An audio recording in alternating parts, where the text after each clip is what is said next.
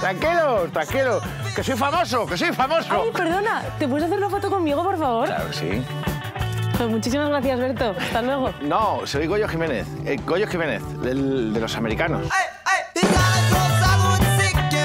En realidad, solo somos famosos para la gente que nos conoce. Lala Chus, desde el salón de su casa, fue haciendo amigos hasta convertirse en la famosa favorita de cientos de miles de personas.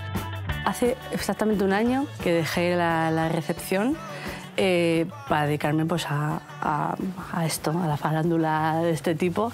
Entonces, tú estás en una recepción, eh, de repente viene la pandemia, esto me interesa, viene la pandemia, te aburres y, y empiezas a Yo hacer siempre he sido una persona que se ha aburrido muchísimo y la- le ha dado por la, la tontuna. Pero lo que pasa es que no tenía la repercusión y el hecho de que la gente luego en casa estuviésemos simplemente esperando a llegar a las 8 para el aplausito, pues mientras tanto, pues a lo mejor pues veían mis cosejas que yo estaba en casa, que si hoy voy a hacer croquetas, como algo muy natural y muy... Sobre todo decían que, oye, es que parece que estoy viendo a mi prima o a mi amiga, ¿sabes? Que no es nada como muy editado ni muy preparado.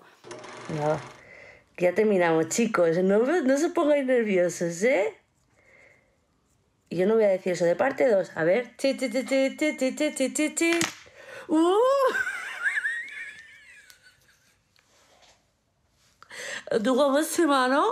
Ya te digo, eh, la mejor compra de mi vida. O sea, wow.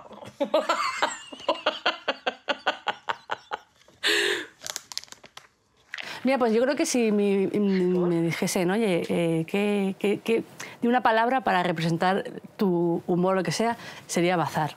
Bazar, qué bonito. Me gusta. Humor de bazar. Sí. Me gusta, lo voy a humor de bazar. Es un humor, mm, podemos deducir, costumbrista. Además, estoy viendo la camiseta y ya esto Kimi me da Valle claves. forever. Estos son compañeros, ¿no? Compañeros, esto es una referencia por millennial. Yo llevo la bandera millennial donde, donde sea. Y muy costumbrista, efectivamente. A mí me gusta mucho pues esto, el barrio, la gente.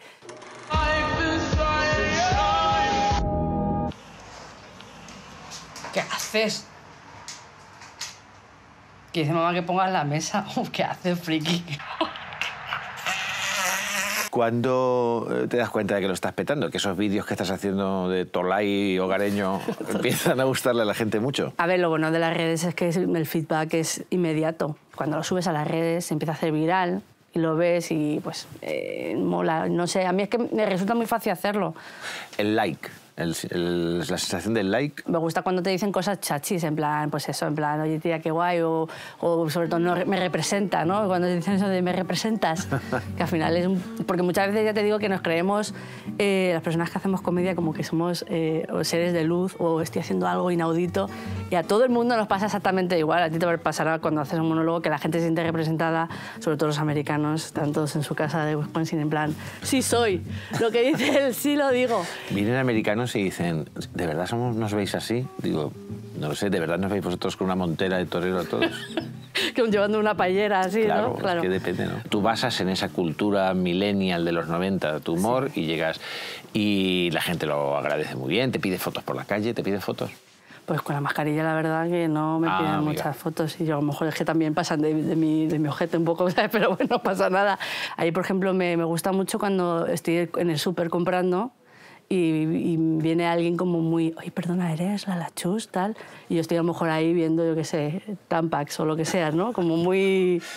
Sí soy, ¿sabes? Así que me quedo, ay, sí, sí. Y es una situación un poco, un poco extraña a veces, pero mola, es guay. ¿Tienes haters? Pues un poco cada vez, yo creo que cuando vas subiendo en, en redes, ¿no? Cada vez no puedes gustarle a todo el mundo, es una cosa que Porque siempre hay un idiota o dos. estoy aprendiendo a, a lidiar con esa sensación.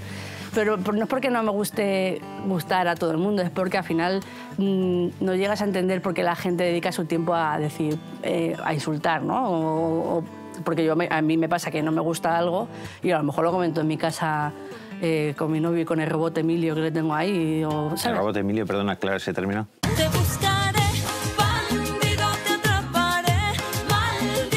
Bueno, el robot Emilio era un robot de los 90 que todos los niños de los 90 queríamos, pedíamos a los Reyes Magos, costaba 10.000 pesetas, sin pilas incluidas, importante dato, y porque luego tenía 50.000 pilas metidas ahí dentro, las gordas, las que más. Entonces, todos los- yo recuerdo que todos los niños de los 90 lo pedíamos, pero mm, se perdían, no, no, no podían, No los. Reyes Magos no, no lo traían. Entonces, llévalo en un vídeo que yo creo que fue un poco el precursor de empezar a hacerme un poco más viral fue que había un vídeo que un chaval me decía, eh, oye, ¿os gustan los, los chicos eh, que no tienen sentimientos? Así como un chavalín. Y dije, no, nos gusta Robot Emilio. Que era una tontería de vídeo, ahora que lo digo, pero funcionó. Ya. Y entonces el Robot Emilio ya me lo regalaron y a mí es que ya la gente se cree que es mi novio y todo.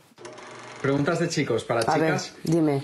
Parte 17. Querubín. Vale, esta es una pregunta que me llevo haciendo mucho tiempo. Sí. A las chicas, ¿os gustan los chicos que muestran sus sentimientos? No, no. ¿O os gustan los chicos que Nos hacen los gusta el robot Emilio. Yo a un punto, yo creo que al final eh, los roboces, Los robots, me encanta los, ese plural. los roboces eh, nos van a quitar el puesto de cómicos. ¿Qué te- ¿Cómo lo ves? Yo, a mí yo ya estoy acabando mi carrera, entonces no me preocupa. Bueno, que va, va a acabar tu carrera de que estás en, en la flor. Yo, en la flor, en la flor marchita, estoy. En la- menudo capullo soy yo hecho una flor. Por cierto, ¿quiénes son tus referentes en comedia? Soy manchega. Mis referentes del principio de los tiempos eran, por ejemplo, eh, Laura Chanante, Muchacha Danui. Me acuerdo que tú ya cuando te vi empecé a ver a ti también. Tú ya eres referente, eres leyenda. Sí. Era muy, muy, muy fan de tú. O sea, cuando hiciste lo de los americanos a mí me parecía algo que me, me- me hacía mucha risa. Me, me gusta que me hagas la referencia de los americanos. Tú, eh, ¿Cómo ves tu carrera internacional? Oh, espera, te, te lo pregunto en inglés. Can I ask you in English? Bueno, eh, I, I don't understand. Pero vamos, tú has hecho vídeos de tutoriales de... Sí, de, ¿qué? de, de inglés. Bueno, pues como tú veas. Hobby you? Drag and you? Dance. Oh, yes. and music band? And Charles and, and you? And you are a gift of music. Oh, and good, and good. Excellent. And Netflix series? And Lost and you? Eh, El Señor de los Cielos. Oh, yes. And book? And Harry Potter 4. And you? And you, uh, Percy Jackson. And good, good. Excellent. ¿Tú te imaginas, por ejemplo, saliendo en películas americanas? ¿No eres capaz de...? ¿Cómo lo, cómo lo verías eso? Ah, pues a mí me encantaría siempre hacer algo así como pues, muy, muy mundo quarterback en plan animadora, ah, no sé qué. Sería muy guay, ¿no? I got broads in Atlanta. Just to the lean the family. Credit cards in the scammers. Hitting the licks in the van. Legacies, family. Estoy nervioso. Esta noche es el último partido de la temporada de Laila. Pero Tom, no puedes jugar contra esos cerdos de Selbyville. Que no puedo jugar, que sabrá ese médico de lo que es una lesión de rodilla. Además, también le dijo a mi padre que se quedaría ciego, ¿Y qué pasó? porque no vio venir ese tractor. Sabes que un golpe más y te quedarás cojo forever. Hay otra forma de quedarse cojo que no sea forever. Pero Tom, ellos son más rápidos. ¿Y? Y más fuertes. ¿Y? y más guapos. ¿Y? más ricos. ¿Y? que tú tienes 50 años y has repetido 32 veces. Es que me tienen manía los profesores. Manía, dice. Vale, perfecto. Entonces, esto ahora, ¿cómo lo hago? Lo edito y lo subo con el móvil a 20, ¿no?